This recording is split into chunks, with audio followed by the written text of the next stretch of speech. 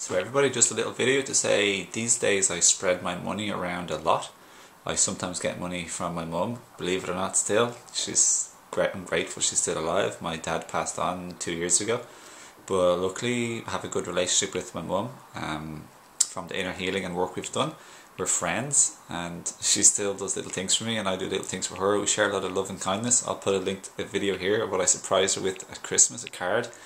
So, so I gave a card to her that day. I gave a card to Sally, my friend. Um, I gave a present to my brother, a present to my mom, and a present to my mum's good friend, best friend. And these days, yesterday I gave a, a euro to a guy who I know who served me in the shop. Like, just why not? Um, get something nice, I said. Maybe a packet of crisps or whatever you want. Um, today I I bought some bananas from a friend, a different person. And I just wanted to say in this video, the essence of what I'm trying to say is let's be kind and share around. Like share the love, share the wealth. Sometimes my mum is like generous to me. I don't want to just keep it all to myself. I share it to like some other people who might be in a little bit of need or could do it a little bit of like bonuses, help, presents or money or like gifts, food, anything. We must think of each other guys is what I want to say in this video and not to be selfish or self-obsessed.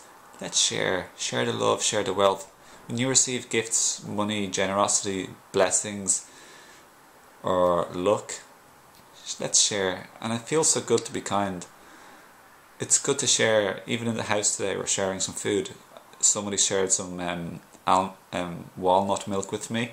Then I shared my dates to make the sweet walnut milk and shared it with another person. And then they shared stuff with me um, with me. Um, what else? Um, I got some vanilla essence from my friend the girl Veronica nice Spanish girl. I um, um what else? Yeah I shared some of my olive paste anyways, it's kind of not really important all these little details, but I'm just saying it, what I'm trying to say is it feels nice in me. I, it feels really nice to be, feel part of a community and to share and to give and receive. So I hope this video helps and it helps lighten and brighten up your life a little bit so you'll be happier and more fulfilled. Take care and lots of love. Thanks for watching. Bye.